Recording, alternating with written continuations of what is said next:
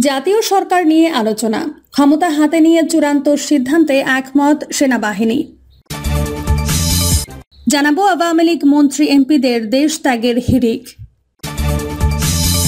এবং সর্বশেষ জানাব ফ্যাসিস্ট হাসিনার মরণ কামড় এবং দাদাদের প্রোপাগান্ডা। এতক্ষণ শুনছিলেন সংবাদ শিরোনাম, এবার বিস্তারিত। জাতীয় সরকার নিয়ে আলোচনা। ক্ষমতা হাতে নিতে চূড়ান্ত সিদ্ধান্তে একমত সেনাবাহিনী। চলমান সংকট নিরসনে যে কোনো সময় বাংলাদেশে জরুরি অবস্থা জারির পরিকল্পনা রয়েছে সরকারের। জরুরি অবস্থা জারির চূড়ান্ত সিদ্ধান্তে একমত হয়েছেন সেনাবাহিনীর কর্মকর্তারা। জরুরি অবস্থা জারি ছাড়া দেশের চলমান পরিস্থিতি নিয়ন্ত্রণ করা সম্ভব নয় বলে বিষয়টি সেনাবাহিনীর পক্ষ থেকে সরকারকে জানানো হয়েছে। সেই লক্ষ্যে মুখে যাই বলুক, তলে তলে এই অবস্থার সমাধানের রাস্তা খুঁজছে সরকার। তবে পদত্যাগ করে জাতীয় সরকার গঠন করা ছাড়া আর কোনো উপায় নেই বলেও তারা মনে করছেন। তাই জরুরি অবস্থা কোন পদ্ধতিতে জারি করা হবে সেই কৌশল নিয়ে সরকারের বিভিন্ন পর্যায়ে আলোচনা সমালোচনা চলছে বলে গণভবন সূত্রে জানা গেছে। জরুরি অবস্থা জারি করে নিজেদের পছন্দের লোক দিয়ে জাতীয় সরকার গঠন করা যায় কিনা তা নিয়েও আলোচনা করা হচ্ছে। সংকট মোকাবেলার নানা পথ নিয়ে সরকার চিন্তা ভাবনা করছে। মাঠে বল প্রয়োগের পাশাপাশি বিভিন্ন ভাবনা তাদের মাথায় রয়েছে। বেসামরিক পদ্ধতিতে ক্ষমতা হস্তান্তর ছাড়া সামরিক বাহিনীর হাতে ক্ষমতা দেওয়া নিয়ে গুঞ্জন রয়েছে। তবে দু হাজার দশ সালে সুপ্রিম কোর্টের এক রায়ে ক্ষমতায় আসা আওয়ামী লীগ সরকার পঞ্চম সংশোধনী অবৈধ ঘোষণা করার মধ্যেই সামরিক সরকার ক্ষমতায় আসা রোধ করা হয়। ফলে আইনগতভাবে সেনাবাহিনী বাংলাদেশের ক্ষমতা নিতে পারবে না। আওয়ামী লীগ সরকার ক্ষমতায় আসার পর সরাসরি সেনাবাহিনীর ক্ষমতা নিতে হলে সংসদ বসিয়ে পঞ্চম সংশোধনী আইন বহাল করতে হবে। তবে গণভবন সূত্রে জানিয়েছে, এক্ষেত্রে একমাত্র সুযোগ প্রথমে রাষ্ট্রপতিকে নিয়ে দেশে জরুরি অবস্থা ঘোষণা করা। এরপর সময় সুযোগ বুঝে নিজেদের মতো করে জাতীয় সরকার গঠন করবে। তবে এভাবে পরিস্থিতি স্বাভাবিক করা যাবে কিনা তা নিয়ে সরকারের ভেতরেই সন্দেহ পোষণ করেছেন অনেকে। এ নিয়ে আলোচনাও হয়েছে। তবে একটি অংশ মনে করছে, দ্রুত এই সরকার ক্ষমতা ছেড়ে জাতীয় সরকারের কাছে ক্ষমতা দিলে পরিস্থিতি নিয়ন্ত্রণ করা সম্ভব হবে, কারণ আন্দোলনকারীরা আপোষ করবে না। সবার একই দাবি সরকারকে সরে যেতে হবে। এছাড়া দেশের অর্থনৈতিক পরিস্থিতিও নিয়ন্ত্রণ করা কঠিন হবে, সূত্র জানিয়েছে, যদি আওয়ামী লীগকে পদত্যাগ করতেই হয়, তবে জাতীয় সরকার নির্বাচিত করতে এগিয়ে আসতে পারে ভারত। ভারত চাইছে পছন্দের একজন অবসরপ্রাপ্ত সেনা প্রধানকে জাতীয় সরকারের প্রধান করতে। মার্কিন যুক্তরাষ্ট্রের পছন্দ ডক্টর মোহাম্মদ ইউনুস। এর পাশাপাশি বাংলাদেশ ব্যাংকের সাবেক গভর্নর সালাউদ্দিন আহমেদের নামও আসছে। এদিকে পনেরো সদস্য বিশিষ্ট জাতীয় সরকার গঠন নিয়ে নানা জায়গায় আলাপ হচ্ছে। আওয়ামী লীগ ও বিএনপির তিনজন করে ছয়জন এবং জাতীয় পার্টির দুই এবং বিশিষ্ট ব্যক্তি ব্যবসায়ী, বিচারপতি ও সাবেক সেনা কর্মকর্তা সহ সাতজন।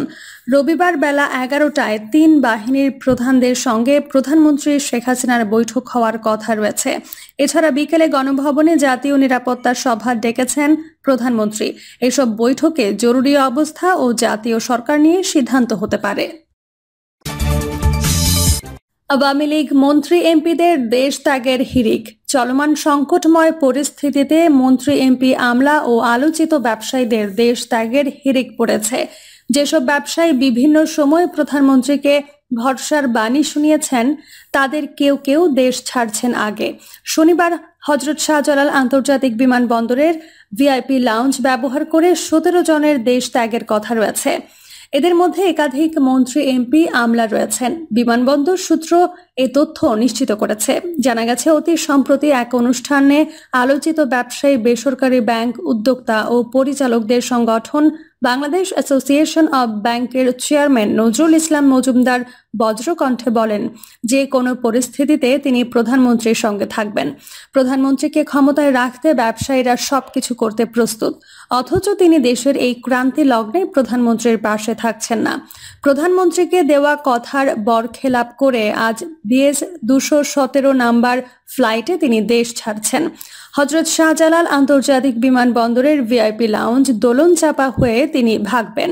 শুধু নজরুল নয়, তার মতো সিআইপি মন্ত্রী এমপিদের দেশ ত্যাগের প্রতিযোগিতা শুরু হয়েছে। বিমানবন্দর সূত্র বিষয়টি নিশ্চিত করেছে।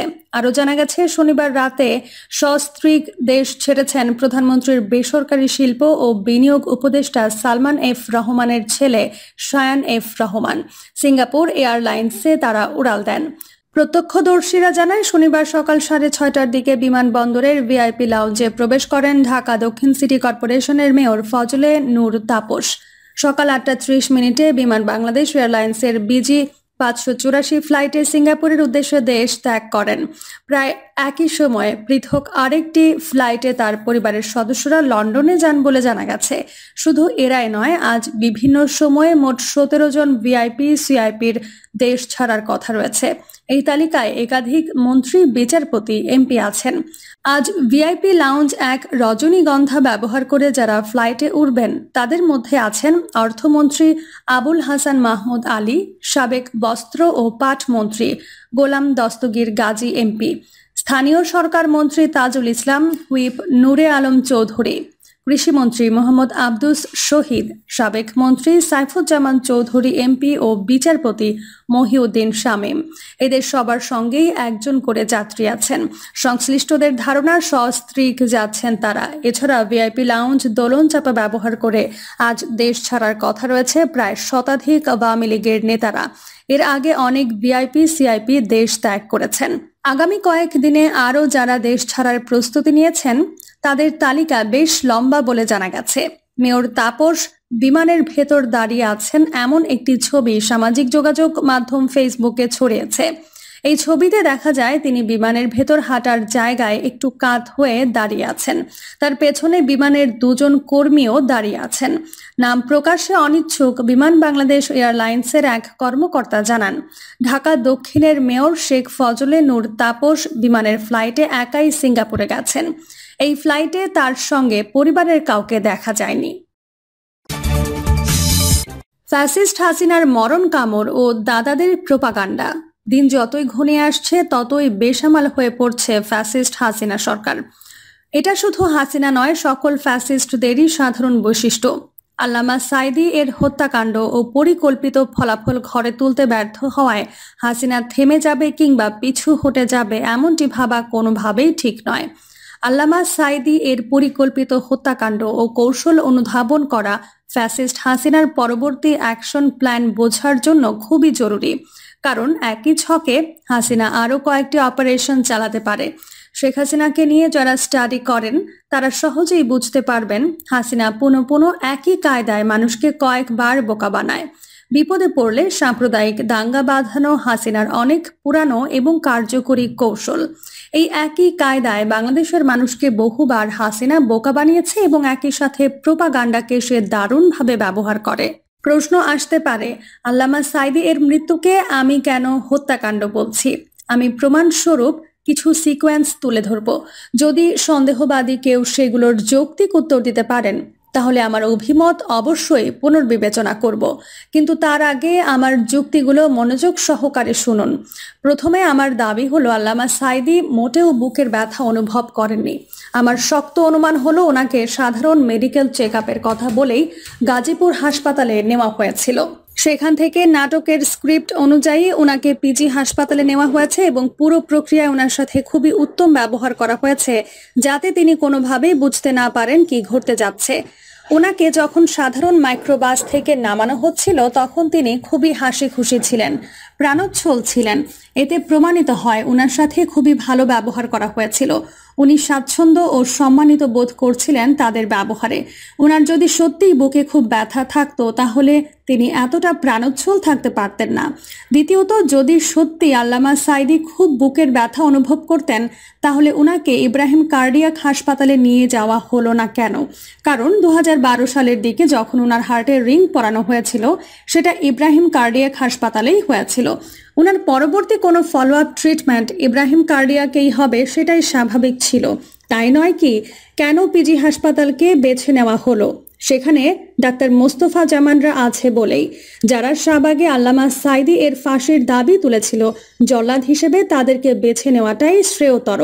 তৃতীয়ত, সবচেয়ে গুরুত্বপূর্ণ বিষয় হলো ওনার পরিবারের সদস্যদের কাউকেই এই হত্যাকাণ্ড সংগঠিত হবার আগ পর্যন্ত ওনার সাথে দেখা করতে দেওয়া হয়নি। এই টোটাল গেম প্ল্যানে কিলিং অপারেশন শেষ করার আগ পর্যন্ত আল্লামা সাইদি এর পরিবারের কারোর সাথেই যোগাযোগ করতে দেওয়া সম্ভব ছিল না। সব অপরাধেরই কোনো না চিহ্ন রয়ে যায় এই সেই ফুটপ্রিন্ট যা সজ্ঞানে কিংবা অজ্ঞাতে কোনোভাবেই এড়ানো সম্ভব ছিল না। প্রিয় দর্শক, এই ছিল এখনকার সর্বশেষ সংবাদ। আপডেট সব সংবাদ পেতে চ্যানেলটি সাবস্ক্রাইব করে বেল আইকনটি ক্লিক করে রাখুন।